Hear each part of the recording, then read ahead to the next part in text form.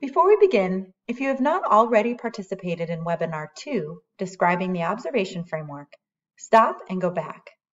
Make sure that you have completed the questionnaire at the end of that module before proceeding. This is the final of three modules, and you will need the learning from the first two modules to complete this last session. Welcome to the last of the three asynchronous modules to prepare you for implementing the Delaware Teacher Growth and Support System. This module will provide you an introduction to the observation and evaluation process. By the end of this webinar, you will know the steps in the Delaware Teacher Growth and Support System process, understand the roles and responsibilities of both the teacher and the administrator in the process, understand the process of writing professional growth goals, and know how to set attainable goals and create plans to meet those goals. This session does not cover calibration on the framework or how to use the DSC. Administrators will receive more in-depth training, including calibration, over the course of their training institute. All administrators and teachers will receive resources and supports to use the DSC to implement this process. The last module focused intently on the observation framework.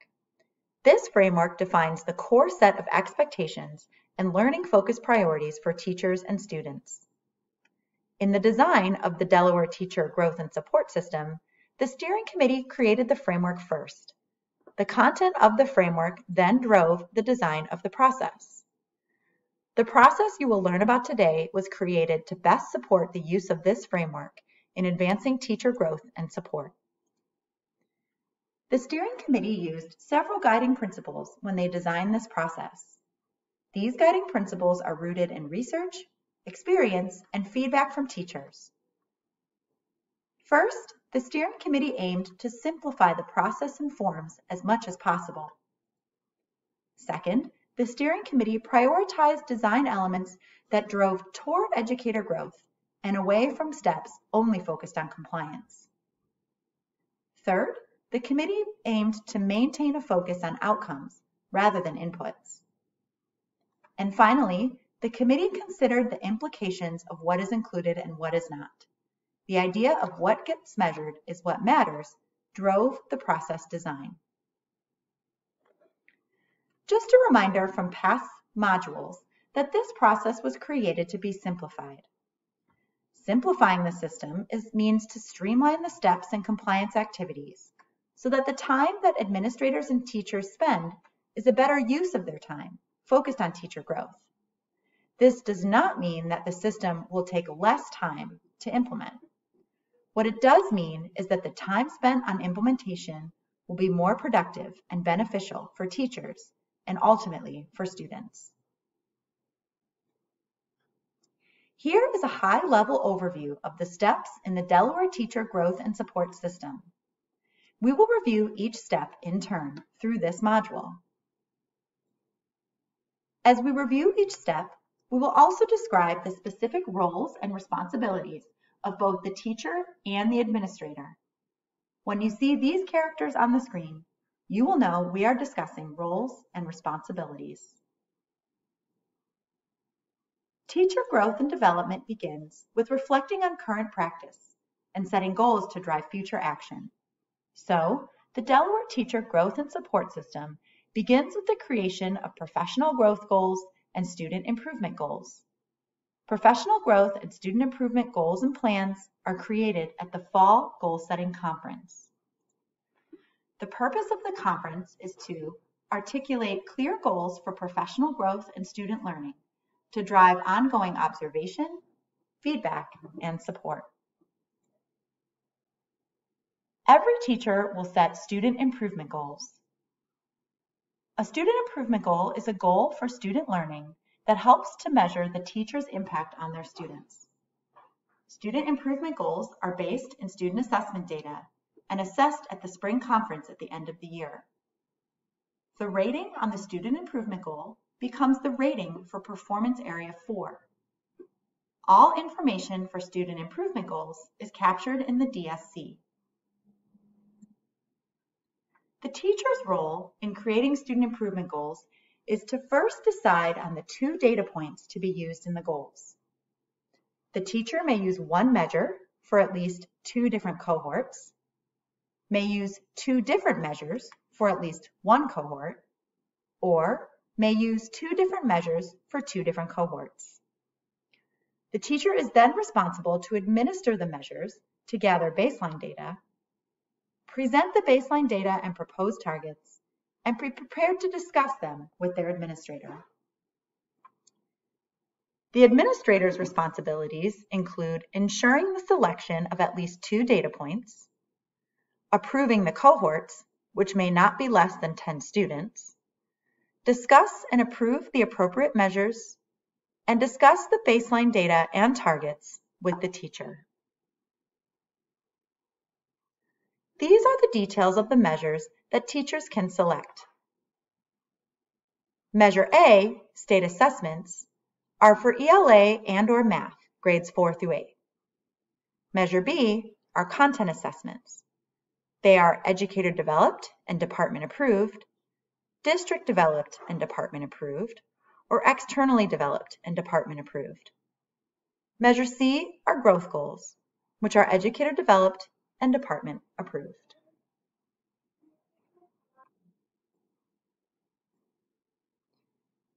Each year, every teacher will also set professional growth goals.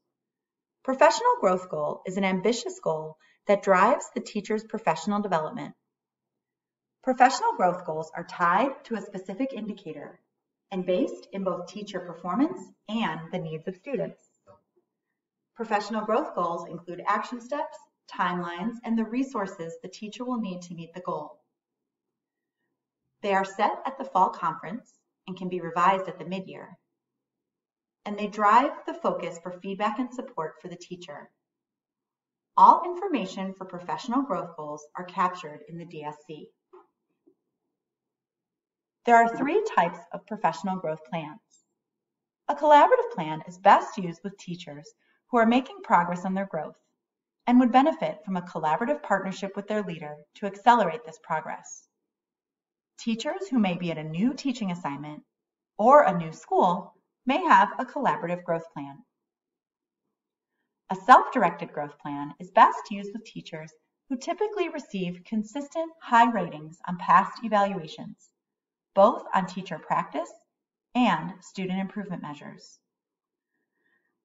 A directed growth plan is meant for a teacher who has significant growth areas that require intensive support or for teachers who are new to the profession and would benefit from more administrator support. Directed growth plans are required for teachers who receive a level one on the prior year's summative evaluation. The teacher has the following responsibility in setting professional growth goals. First, the teacher reviews formative observation feedback and summative ratings from past years. They also review their student performance from the past year and write or collaborate on writing their professional growth goals based on this performance. Teachers also set student improvement goals and input all information into the DSC. The administrator's role is to review teachers' past performance data, both for the teacher and their students, to determine the type of growth plan to assign to the teacher, and to write or collaborate on writing professional growth goals that align to an indicator or descriptor on the framework that would support the student improvement goal. The administrator is also responsible for confirming the goals. Once professional growth and student improvement goals are set and the fall conference has occurred, the administrator can begin observations. The purpose of regular observation and feedback is to collect evidence of teacher practice aligned to the framework, identify areas for feedback and support, and engage in a cycle of professional growth to benefit the teacher and ultimately students.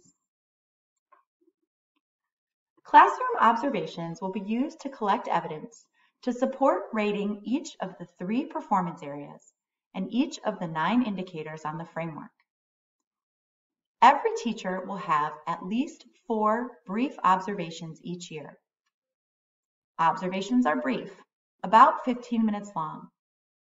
They are almost always unannounced, except for the first observation of a teacher new to the school. Observations are designed to capture evidence on all nine indicators over the course of the year. It is not necessary to capture evidence for each indicator during each observation. The descriptors under each indicator are used as a guide to capture and sort evidence. Observations are not rated. Instead, observations are followed by a debrief and a feedback in the form of a claim evidence impact statement. All observation evidence will be collected in the DSC. Here is more detail on the observation process. First, the administrator observes the lesson, taking literal notes and collecting artifacts if possible. The administrator then analyzes their notes by determining the likelihood of learning in the lesson, identifying the lesson objective, and determining if the lesson is aligned to the objective, analyzing their notes, and beginning to sort evidence by indicator. The administrator then prepares for the debrief with the teacher. They may draft their claim based on the evidence they've collected, draft the impact based on the student learning, and any questions to help them clarify evidence and align to a level of performance. The administrator may also identify data and evidence to share with the teacher.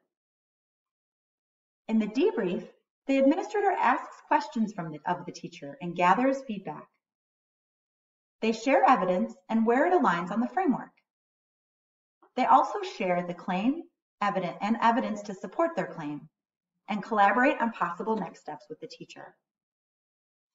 After the debrief, the administrator may make any modifications to alignment of evidence as necessary.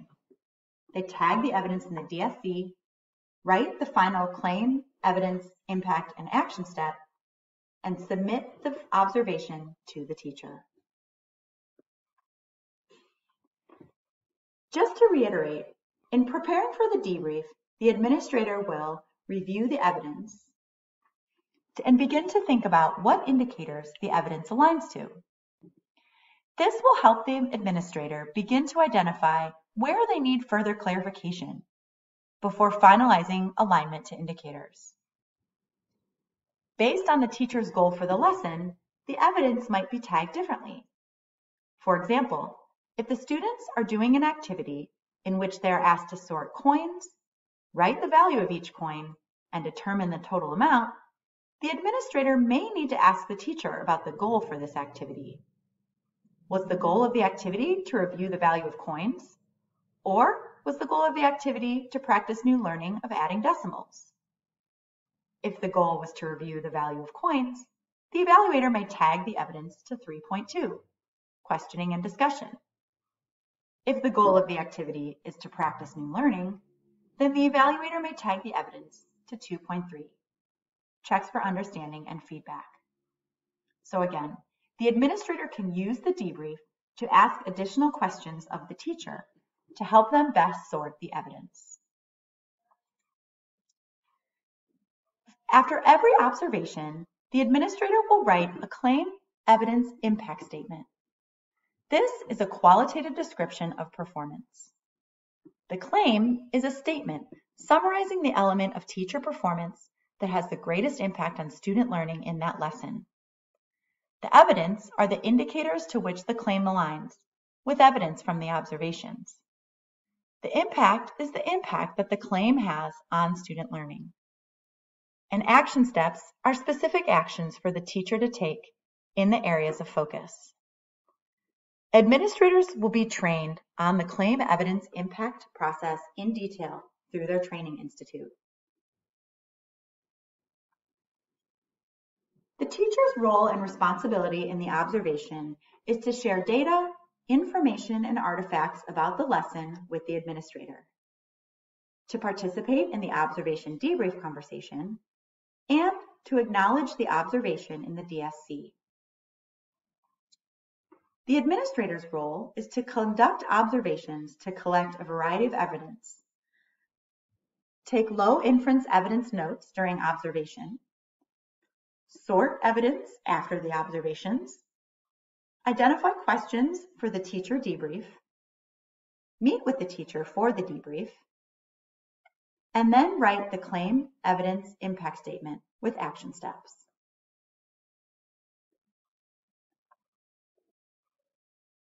Once the teacher has had two observations, it's time for the mid-year conference.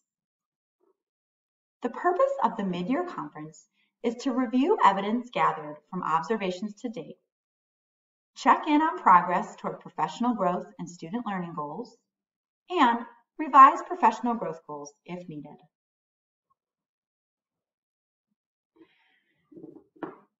The first objective of the mid-year conference is to document progress toward professional growth goals. Second, to make ch any changes to the type of growth plan or add new professional growth goals if necessary. And third, to evaluate student data to assess progress toward goals.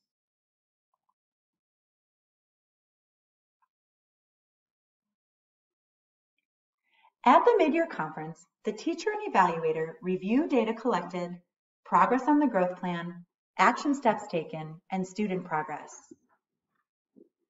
The administrator may decide, that the teacher needs a change in professional growth plan type, or the teacher and administrator may design, decide to write new growth goals. But in most cases, the plan type will typically not change at the mid-year unless it is necessary to support student growth. The teacher has the following roles and responsibilities for the mid-year conference. First, to review feedback collected to date and progress on their professional growth goals, to participate in the mid-year conference with the administrator, and to identify and engage in any revisions to professional growth goals. The administrator is responsible for reviewing all evidence collected to date, assessing performance on the professional growth goals, meeting with the teacher to review evidence to date and determine changes to goals, and strategizing remaining observations to ensure they collect adequate evidence to rate each indicator in the spring. The last step in the Delaware Teacher Growth and Support System process is the Spring Evaluation Conference. Every teacher will have a Spring Evaluation Conference after at least four observations are complete. The purpose of the Spring Evaluation Conference is to discuss student improvement goals and final ratings, discuss indicator and performance area ratings, and discuss progress on professional growth goals. So again, the teacher and the administrator will discuss progress on student improvement goals, discuss indicator and performance area ratings on the framework, and discuss progress on professional growth goals. After the spring conference, the teacher will receive a summative evaluation report that includes their summative rating on the framework and student improvement goals. At this time, an evaluator may determine that a directed growth plan may be necessary for the teacher for the next school year. Prior to the spring conference, the administrator will determine the teacher's final ratings on the framework. The first three ratings for performance areas 1, 2, and 3 are informed by evidence from the four observations over the course of the year. The fourth rating on student improvement goals is informed by the student assessment data. These four ratings are combined to determine the teacher's summative evaluation rating of a level 1, 2, 3, or 4. To arrive at the final rating, the observer first assigns each of the three rubric performance areas a rating based on the preponderance of evidence. Student improvement points are assigned using the process currently in use. Each of the four performance areas is then weighted equally. So if a performance area has a rating of a level 4, that performance area is worth 4 points. Level 3 is worth 3 points. Level 2 is worth 2 points. And a level 1 rating is worth 1 point.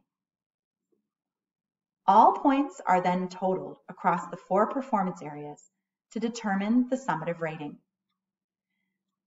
A total of 15 to 16 points results in a summative rating of a level 4. A total of 11 to 14 points results in a summative rating of a level 3. A total of 8 to 10 points results in a rating of level 2, and 4 to 7 points results in a summative rating of a level 1.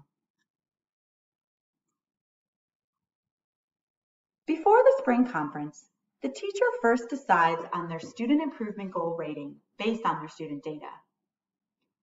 They gather any evidence for progress on their professional growth goals and complete a self-evaluation of each indicator on the framework. The teacher also updates the student improvement goal results.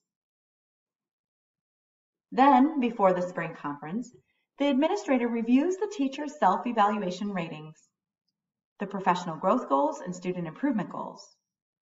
They examine all evidence collected from observations over the course of the year and identify a rating for each indicator and each performance area based on the preponderance of evidence. The conference is an opportunity for teachers to share their reflections and for evaluators to provide their feedback. At the conference, the teacher and the administrator review all data collected over the course of the past year. Review progress on professional growth goals and student improvement goals. Document rate feedback and review the final rating for each indicator and performance area. The teacher and administrator may also begin to discuss plans for next year's professional growth goals. After the spring conference, after participating in the spring conference with the administrator, the teacher will acknowledge the summative evaluation report form in the DSC. Again, the administrator will meet with the teacher to share their ratings and feedback. Confirm the student improvement or performance area 4 rating. Articulate key strengths and growth areas for the teacher. Review all evidence collected over the course of the year and use that evidence to assign ratings to performance areas 1, 2, and 3 they will draft and then finalize the evaluation report to share with the teacher.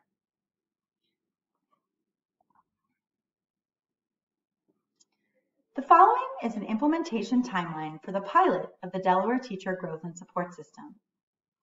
Your district may have specific deadlines for each step to be completed. First, fall conferences will begin in September, and all should be complete by the middle of October. As soon as the fall conference is complete, observations can begin, with the mid-year conferences occurring between December and February, once two, at least two observations are completed. Observations continue into the spring, with the Spring Summative Evaluation Conference being complete by the middle of May. Again, your district will have specific deadlines for each of these process steps. Let's return to the professional growth plan, and specifically the process for creating high-quality professional growth goals. There are several criteria for high-quality professional growth goals. First, strong goals are specific. They include a clear practice that the teacher will implement or a clear change to be made. High-quality goals are measurable. They are able to be observed and measured the administrator and teacher should be able to know if the goal has been met. High quality goals are ambitious. They should be considered rigorous and a stretch for the teacher, but still attainable. Goals should also be relevant. High quality growth goals are connected to the students, the content, and the context in which the teacher is teaching that year. Finally, high quality goals are time bound. They are clear on by when the impact of the goal can be seen and felt in the classroom. Let's review the steps for setting high-quality professional growth goals. First, reflect on the teacher's past practice. This could include reviewing past DPAS2 evaluation documents, feedback the teacher has received from administrators and colleagues, evidence of where their teaching has enhanced student learning, and evidence of where their students may need different types of support. The next step is to study the framework. Consider what indicators in the framework present new or different expectations for the teacher. In what indicators of the framework is the teacher particularly strong in their practice?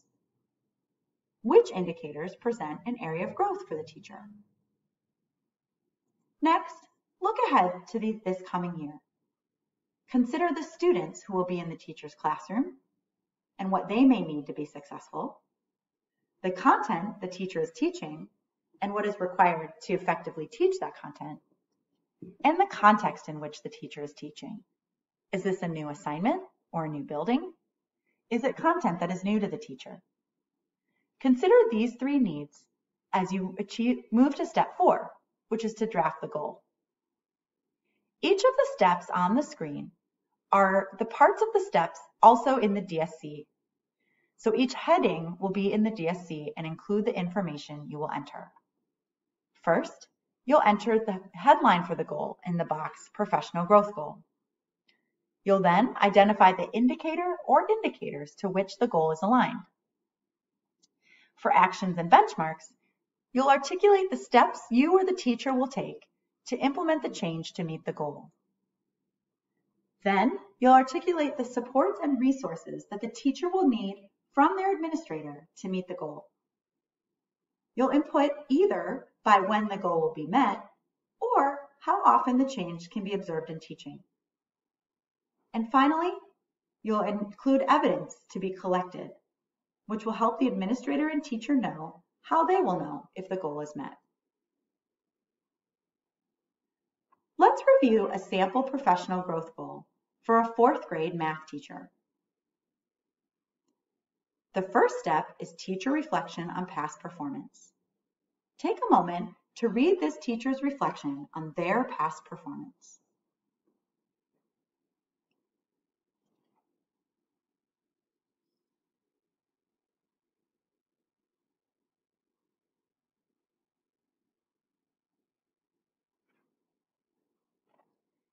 Based on this reflection, the teacher has identified the following goal. Expand my repertoire of questioning and discussion techniques to engage all students more deeply in class discussion and get to a point where students are talking more than me. This is aligned to level three in the framework. The teacher has identified that this goal aligns to rubric indicators 1.3 and 3.2. Then the teacher identified the different actions they will take to help meet this goal. Take a moment to read the actions the teacher articulated.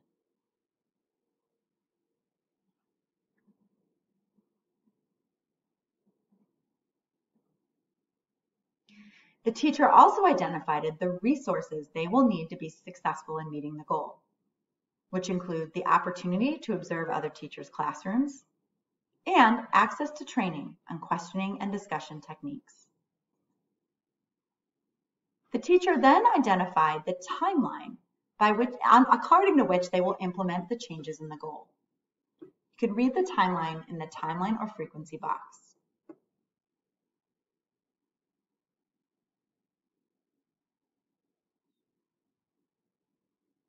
Lastly, the teacher articulated the evidence that will be collected to show that they have met the goal.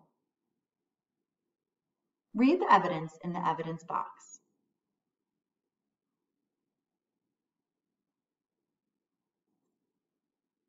Congratulations! You have finished the third and final online module for the Delaware Teacher Growth and Support System. For your participation to be considered complete, please complete the Module 3 exit ticket located in the Schoology course. Your feedback on this exit ticket will help the department to design additional trainings, communications, and resources to meet your needs and the needs of your colleagues. Once you have completed the exit ticket, complete the course assurance in Schoology to affirm that you have completed all steps in the asynchronous modules.